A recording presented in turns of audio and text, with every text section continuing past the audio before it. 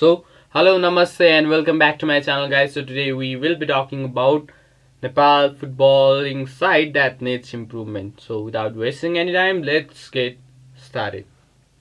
AFC Asian cup दुई हजार सत्ताइस फिफा विश्वकप दुई हजार छब्बिसको संयुक्त छनौट अन्तर्गत लाओससँग पहिलो चरणमा होम गेममा एक एकको बराबरी र अवे गेममा एक दुईको जितसँगै अन एग्रिगेट एक दुईको नतिजाका साथ राउन्ड टू प्रवेश गरेको। नेपालले ग्रुप एचमा रहँदै युएई यमन र बाहरेनलाई आफ्नो प्रतिद्वन्दीको रूपमा पाएको छ।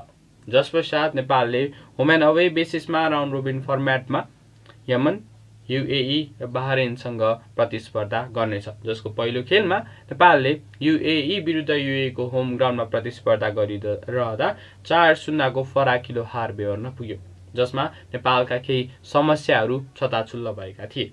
आज यही विषयमा रहेर चर्चा गर्नेछौँ।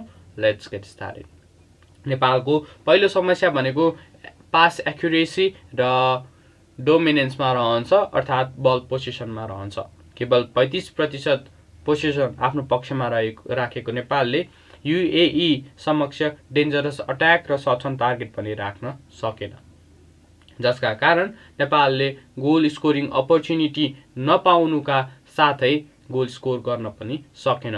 चार गोल पहिलो हाफमै कन्सिड गरेको नेपालले गेम अगाडि नै सरप्राइजिङ गेम प्रस्तुत गर्ने जनाइसकेको थियो।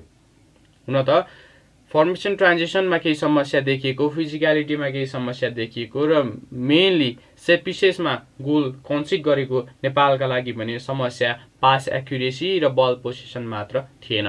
नेपालको पुरानै रोग फाइनल थर्डमा देखिन्छ जसमा फाइनल थर्डले पाएका अपर्च्युनिटिजहरूलाई पनि डेन्जरस अट्याकमा कन्भर्ट गर्ने र क्यापिटलाइज गर्ने अपर्च्युनिटिजहरू निकाल्न नसक्नुका कारण नेपालले चार निलको लस भोग्नु परेको थियो। जसमा मनिष दाङ्गी अञ्जन विश्व र जिलेस्पी जङ कार्की फाइनल थर्डमा रहेका थिए। हुन त नेपालले केही कम्प्याक्ट भएर खेल्ने आफ्नो ह्याबिटबाट केही बाहिर निस्किएर यसपटक अपोनेन्ट हाफमा पनि केही गतिविधि गर्न भने सफल भएको थियो तर त्यसलाई क्यापिटलाइज भने नेपालले गर्न सकेन। त्यसमाथि पनि दुई हजार पन्ध्र यता हेर्ने हो भने नेपालले निकै नै धेरै प्लेयरहरूलाई डेब्यु गराइसकेको छ। यो अवस्थामा एउटा कङ्क्रिट सेट एउटा राम्रो कम्बिनेसन र एउटा टिम एज अ टिम खेल्न नसक्नुका कारण पनि सम्भवतः नेपालको खेलमा केही समस्या देखिराखेको छ। कुनै पनि प्लेयर टिममा सेट हुनुभन्दा अगाडि नै कि टिमबाट बाहिरिने या विदेशिने क्रमले गर्दा नेपालले एउटा राम्रो सेट पाइराखेको छैन। आशा गरौँ नेपाली फुटबलले आगामी दिनमा एउटा कङ्क्रिट सेट एउटा उत्कृष्ट सेटका साथ गेम प्रस्तुत गर्नेछ र मैदानमा उत्रिनेछ। जस कारण नेपालले एएफसी एसियन कप फिफा विश्वकप लगायतका ठुल्ठुला टुर्नामेन्टहरूमा सहभागिता जनाउन सफल हुनेछ। नेपाली फुटबलका लागि आगामी नोभेम्बर एक्काइस तारिकका दिन यमनसँगको खेलका लागि अग्रिम शुभकामनाका साथ आजको लागि भने भिडियो यति नै। थप अपडेटका लागि च्यानललाई सब्सक्राइब र भिडियोलाई लाइक गर्नु नबिर्सिनुहोला। One team one goal join